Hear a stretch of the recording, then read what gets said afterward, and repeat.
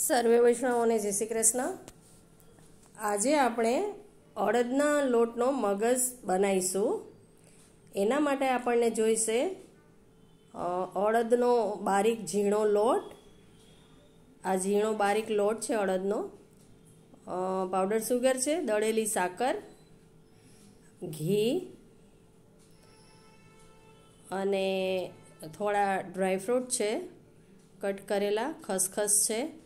અને આ દૂધ અને ઘીનું મિશ્રણ છે, ધાબો દેવા માટે, દૂધ થોડું હુંફાળું લેવાનું જેથી કરીને ઘી અંદર ઓગળી જાય. આટલી સામગ્રી આપણે અડદનો મગજ બનાવવા માટે જોઈશે. એ પછી આપણે આ જે અડદનો લોટ છે, એની અંદર દૂધ ઘીનું મિશ્રણ છે, એ અંદર એડ કરીશું. અને પછી એને હલકા હાથે એને મિક્સ કરીશું. આપણે લોટમાં મોણ આપીએ એ રીતના થોડું થોડું ઉમેરતું જવાનું અને મિક્સ કરતું જવાનું. આના લીધે લોટમાં બહુ સરસ સુંદર કણીઓ પડશે. તો આવી રીતના મિક્સ કરવાનું છે. અને પછી મિક્સ થઈ જાય પછી બે હાથે સારી રીતે મિક્સ કરી, મસળી અને પછી દબાવી દેવાનો છે. આ લોટને દબાવી દેશું અને દસેક મિનિટ માટે રેસ્ટ આપશું. થોડું ઢાંકી અને દસેક મિનિટ રહેવા દેવાનું. એ પછી એને ચાળી લેવાનો છે. ચાળી લીધા પછી આ રીતનો કણીદાળ દાળ મિશ્રણ તૈયાર થશે. જે આપણે અડદનો ધાબો દીધો, એની આવી કણીઓ આવી કણીઓ પડશે. એ કણીવાળો સરસ સુંદર લોટ છે, એને હવે શેકીશું. એક પેનમાં ઘી મૂકીશું, ઘી ઓગળે, એ પછી આપણે એમાં અડદનો લોટ ઉમેરીશું. બહુ અતિશય ગરમ નહીં થવા દેવું, પણ થોડું ઘી ઓગળે એટલે અંદર આપણે થોડો થોડો કરી અને અડદનો લોટ ઉમેરીશું અને પછી શેકીશું. મીડિયમ આંચ પર શેકશું. ધીરે ધીરે જેમ જેમ શેકાશે એમ ખૂબ સુંદર ખુશ્બુ આવશે. અને આપણે એને એકદમ ડાર્ક બ્રાઉન કરવાનો છે. આવી રીતના મીડિયમ આંચ ઉપર આપણે એને શેકવાનો છે.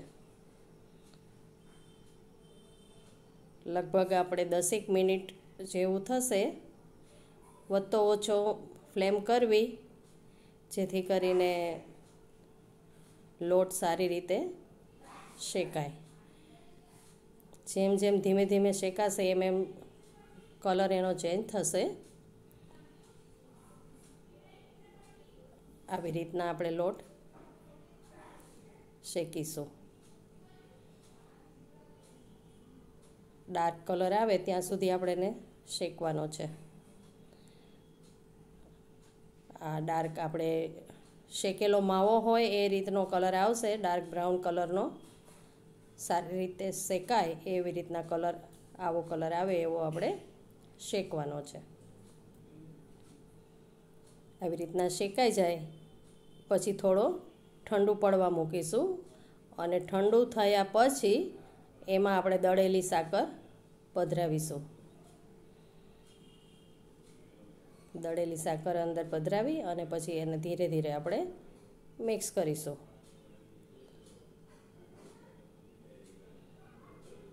એકદમ સરસ રીતે મિક્સ થઈ જાય. એવી રીતના હલાવીશું. અને બસો આવી રીતના લોટ અને સાકર સારી રીતે એકબીજામાં મર્જ થઈ જાય એવી રીતના મિક્સ કરી દેવાની છે. અને પછી એને આપણે એક ડીશમાં અથવા ચોકીમાં ટ્રાન્સફર કરી લેશું. ચોકી કે ટ્રે આપણી પાસે જે હોય એમાં એને ટ્રાન્સફર કરી લેશું અને ઇક્વલી ફેલાવી દેશું. આવી રીતના ફેલાવી અને પછી આમાંથી આપણે પીસ પણ પાડી શકીશું અને લાડુ વાળવા હોય તો લાડુ પણ આપણે વાળી શકીએ છીએ. અત્યારે આપણે આને આવી રીતના ટ્રેમાં ઇક્વલી સ્પ્રેડ કર્યું છે. હવે આપણે એમાં ડ્રાયફ્રૂટ ઉપર પધરાવીશું. જે આપણે ડ્રાયફ્રૂટની કતરણ તૈયાર કરી હતી, એ ડ્રાયફ્રૂટ પધરાવીશું. ડ્રાયફ્રૂટ પછી આપણે થોડા ખસખસ પધરાવીશું.